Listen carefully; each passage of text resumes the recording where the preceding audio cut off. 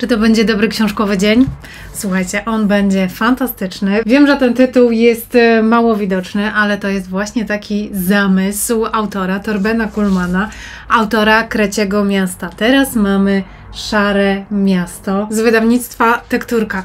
Nie wiem, czy kojarzycie te książki. Patronat aktywne czytanie, ale oprócz nich mamy jeszcze Einsteina, Armstronga. One są tak cudownie zilustrowane. Edisona i Lindberga. Opowieści o tych książkach również znajdziecie na blogu Aktywne Czytanie. To są te o myszach, o odkrywcach, podróżach, o przygodach, a tutaj mamy trochę inny klimat.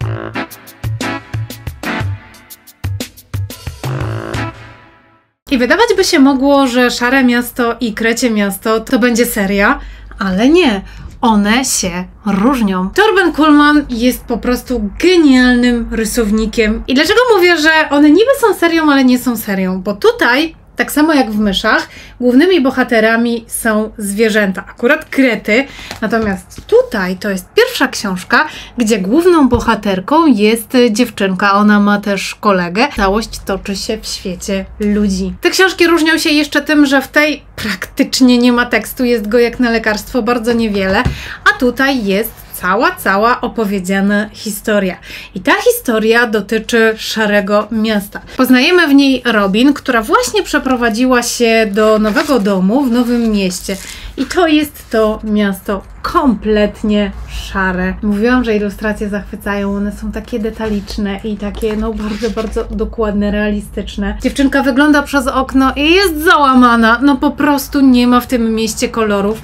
To jest e, bardzo, bardzo dziwne. Ona sama postanawia, jako ta nowa w mieście, że ona nie zdejmie swojej żółtej kurtki przeciwdeszczowej, bo ta kurtka jest żółta i ta kurtka daje kolory. Szybko okazuje się, że ta szarość miasta, ona jest dosyć dziwna, dlatego że no tak naprawdę jak się rozejrzymy po wszystkich miastach, to owszem, jest dużo szarości, ale jest też zieleń, są inne kolory, a tutaj wszystko jest szare. Jak przyjrzycie się tym ilustracjom, tu wszystko jest nawet z takimi napisami ukierunkowane na to, żeby było szare. Pokażę Wam wyklejkę. Tutaj mamy takie butelki z farbą i mamy różne odcienie szarości, na przykład szarość alabastrowa, szarość ruda, szarość winylowa, szarość kurzowa, szarość szara, szarość mopsia. Cieni szarości i pomysłów na szarość jest bardzo wiele, no ale Robin się to nie podoba. Robin idzie do szkoły i dowiaduje się, że kolory nie są mile widziane w tym mieście. W szkole również kolory nie są mile widziane. Niby nikt na nią za to nie krzyczy, ale wszyscy jakoś tak dziwnie na nią patrzą.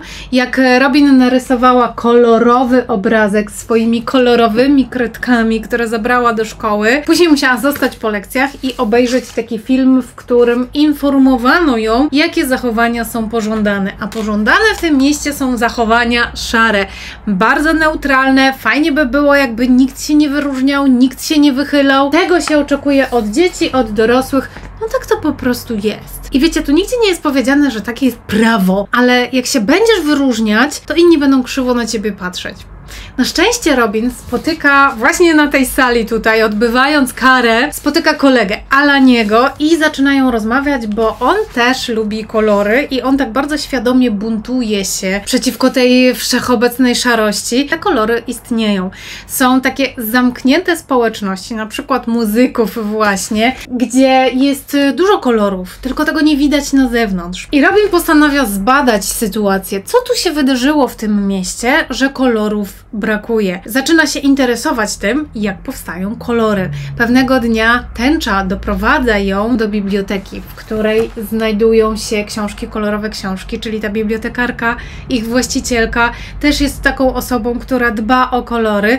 No i Robin odnajduje wszystkie potrzebne informacje na temat kolorów. Bo nie wiem, czy kojarzycie w ogóle książki Torbena Kulmana. On zawsze gdzieś tam takie naukowe spojrzenie na życie, na świat zawsze stara się pokazać. Więc tutaj jego zamysłem było to, żeby pokazać, że nawet w szarości są ukryte kolory. Trzeba je tylko umieć wydobyć. I Robin postanawia właśnie to zrobić. Oczywiście nowy przyjaciel jej pomaga, właściwie nowi przyjaciele. Okazuje się, że jest w tym mieście fabryka. której właścicielom zależy na tym, żeby wszystko było szare i dzieciaki wkraczają do akcji i można powiedzieć, że ratują miasto przed tą szarością, nudą, tym wszystkim, co jest identyczne. Daje do myślenia, no bo pokazuje, że fajnie się wyróżnić i fajnie też szukać kolorów w życiu. I super, jeżeli nie czekamy, aż nasz problem, jakaś trudna dla nas sytuacja no, po prostu się rozwiąże, tylko staramy się sami znaleźć rozwiązanie i to właśnie szukamy go u źródeł w książkach naukowych rozwiązań, które mogą pomóc całemu miastu.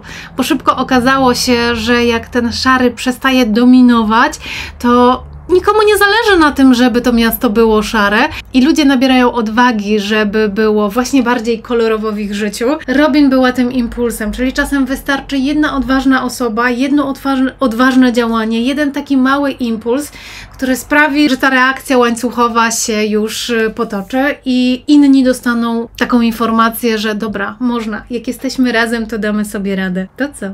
Czytamy?